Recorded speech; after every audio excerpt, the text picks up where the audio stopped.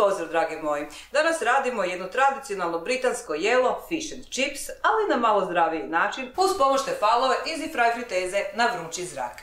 U ovom ćemo receptu koji se priprema prilično jednostavno i brzo za početak ispanirati file bakalara, onda ćemo ga lijepo ispržiti u našoj fritezi i to sve zajedno u isto vrijeme sa krumpirićima i dobiti prefini ručak u taj čas. Idemo mi napraviti ovo fino jelo, ja sam sve što mi treba pripremila već. E, file bakalara e, sam ovdje e, posušila, narezala. Trebaju nam tri posude u koje ćemo u jednu staviti brašno, u drugu posudu umučena jaja sa nešto malo mlijeka. Ta jaja je dobro začiniti ili mješavinom bilom začina ili sa solju.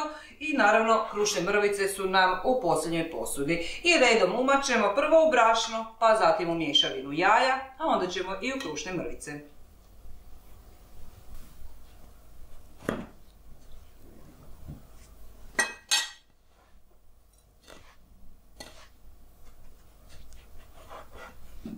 Panirane odreske odlažemo naravno na ovaj jedan pladanj dok ne napravimo na isti način apsolutno sve.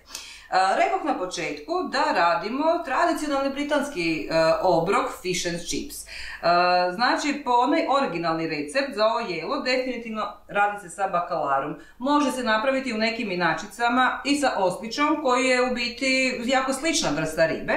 Ali po tradicionalnom receptu um, ovaj, ovo se radi u pivskom tijestu. Znači radi se pivsko tijesto sa jajima, sa nešto malo praška za pecivo, E, sa dosta brašna i onda se naravno ovakvi komadići ribe umaču u to pivsko tijesto i prže se u dubokom ulju. E sad, rekoh također da mi ovo radimo na malo zdraviji način uz pomoću tefalove easy fry friteze i baš zato što ovo radimo u fritezi na vrući zrak, mi nećemo ovo raditi u tom pivskom tijestu, zato što je to pivsko tijesto E, dosta je onako mokra ta panada, a te mokre panade e, nisu baš idealne za pripremu u fritezama na vrući zrak. Znači bolje funkcionira kada se meso panira ovako na suhi način u brašno, u jaja i u krušne mrvice. A ovako će biti i puno trskavije.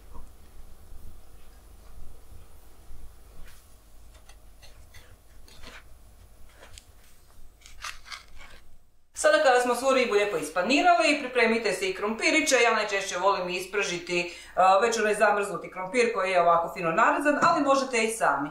Znači peći ćemo u isto vrijeme i ribu i krompiriće i zato ćemo na našoj fritezi odabrati program koji nam to i omogućava. Znači ovaj. I sada nas pita e, prvi program što ćemo pržiti, znači odabrat ćemo krompiriće, za drugi dio posudice odabrat ćemo ribu. I u ovom trenutku moramo dodati ono što nam i piše da trebamo dodati, a to su krompirići. Vidite i sami da je sada u ovom trenutku u posudi i ova pregradica koja se lako samo izvadi, isto se tako jednostavno stavi u zato predviđeni utor. Kada smo to smjestili, idemo mi staviti naše namirnice, znači krompirići su prvi. I stavljamo na pečenje. I možemo pokrenuti i to je to. E, na fritezino piše da će se sve skupa peći 40 minuta i krompirići i riba. Nakon određenog vremenskog intervala e, dobit ćemo signal da malo onako protresemo ove krompiriće, da se ipak puno ljepše ispeku, a na vrijeme ćemo dobiti i obavijest da je vrijeme da stavimo drugi dio, odnosno ispaniranu ribu.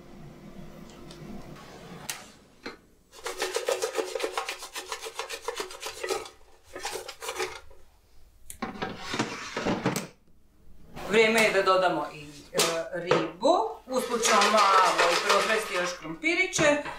Već su sad hrskavi, bit će savršeno hrskavi, znači stavit ćemo ovako onoliko komada ribe da se ne dodiruju. Znači, uh, u fritezi na vrući zrak je bitno da komadići hrane, ovi koji se ovako prže kao što su meso ili nešto takvoga, da ne budu jako preblizu jedno drugoga. Znači, moramo omogućiti da vrući zrak struji oko svih komadića, jer onda će biti onako podjednako hrskavo. Uh, iako bi se ovo moglo ispeći bez potpuno imalo ulja, uh, ipak će biti još hrskavije ako ga malo poprskamo sa uljem, znači pa jednostavno po svakom komadu, dodamo malo ulja, najjednostavnije je ovako poprskati i vraćamo na pečenje.